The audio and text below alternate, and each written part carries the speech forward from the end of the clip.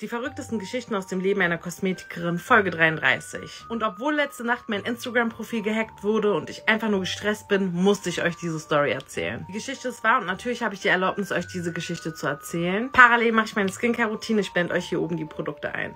Prinzipiell hätte das eine cute Love-Story sein können, war aber nicht so. Die Geschichte handelt von Clara und Leon.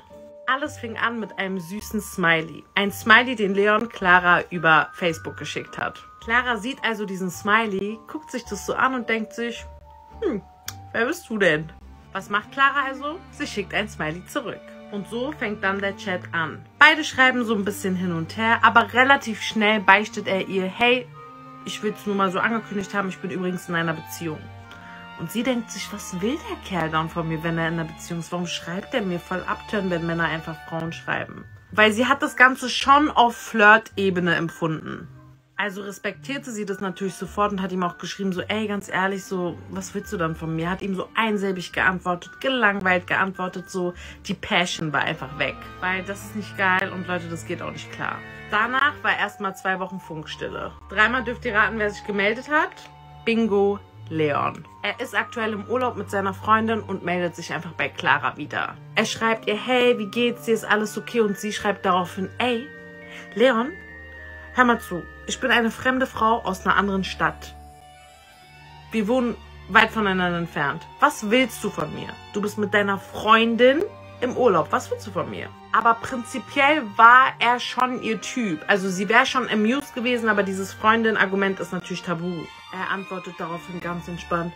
Ich will nichts, ich will einfach nur ein bisschen Smalltalk, bisschen quatschen, alles gut, alles entspannt. Und er betonte die ganze Zeit, dass sie mal dieses Freundinnen-Thema ein bisschen ausblenden soll. Weil sie die ganze Zeit deine Freundin, deine Freundin, deine Freundin sagt und Girl, sie hat auch recht. Und irgendwann dachte sie sich, weißt du was? Ich blende das aus. Okay. Ist für mich dann auch einfach nur Smalltalk. Der ist süß, der ist sympathisch, so. Ich nehme das nicht so ernst. Side Note, bis dato haben beide auch noch nie telefoniert oder so. Wirklich nur geschrieben.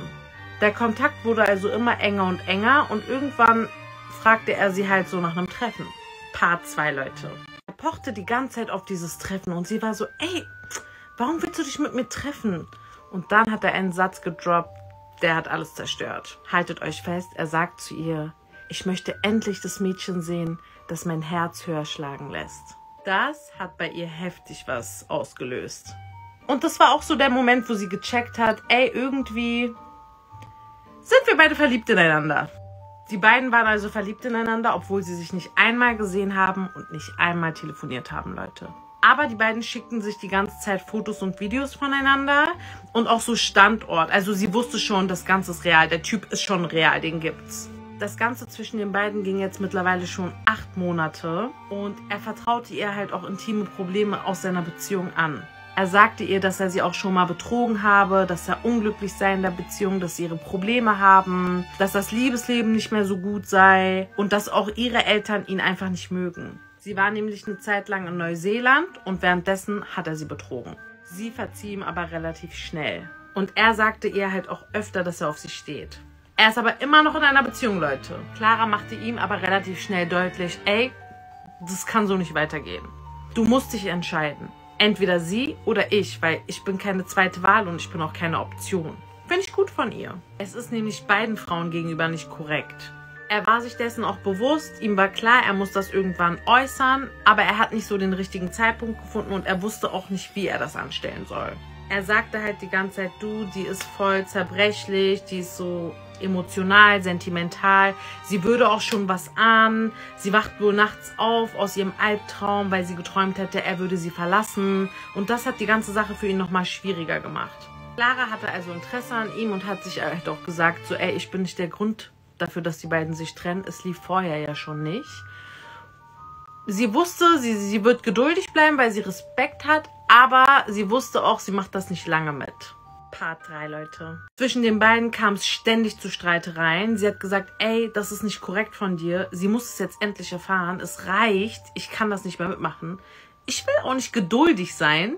Klär die Sache mal jetzt bitte. Er hat ihr halt ständig versprochen, ey, ich kläre das, ich kläre das, aber nichts ist wirklich passiert. Deshalb hat sie gesagt, weißt du was, ich block den Typen jetzt, es reicht. Er hat aber wiederum von zig anderen Social-Media-Kanälen geschrieben und Fake-Accounts kreiert, damit er wieder Kontakt zu ihr aufbauen kann. Er wollte sie nicht verlassen, er wollte nicht, dass das mit ihr endet.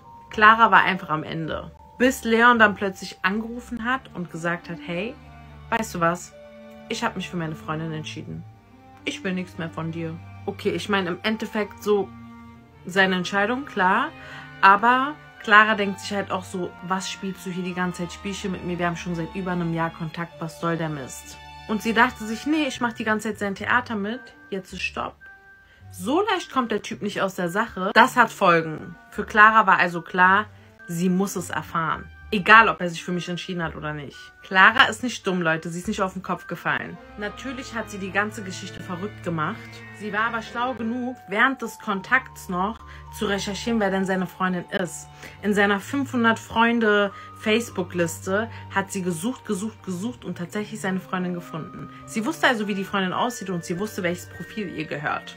Sie hat sich also eine Freundin geschnappt. Die haben alle Accounts ausfindig gemacht. Die haben ihr ihren Freundinnen und ihrem Bruder die ganze Geschichte erzählt. Aber keiner hat reagiert. Anscheinend ist alles im Spam gelandet.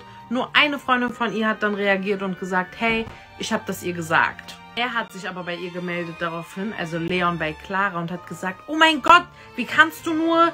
Warum erzählst du das? Warum tust du mir das an? Du weißt doch, was das für eine schwierige Zeit für mich war. Wie kannst du mich in so eine Scheiße bringen? Aber sie hat daraufhin einfach nur reagiert mit, ey, ich habe dir so viele Chancen gegeben, du hättest es klären müssen, aber du hast es nicht geschafft.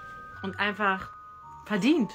Und ich finde dieses Thema richtig interessant, Leute, weil ich würde es auch gern wissen. Ich denke, viele von euch würden es gern wissen, oder?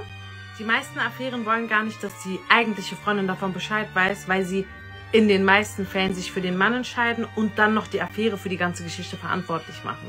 Und so ähnlich war es leider hier auch. Letzten Endes hätte es sie über alle Kanäle erreicht, das heißt über ihren Bruder, über die anderen Freunde auch. Aber sie ist total sauer auf die beiden Mädels und gibt denen die Schuld und ist mit ihm voll im Reinen. Und beide haben sogar geheiratet.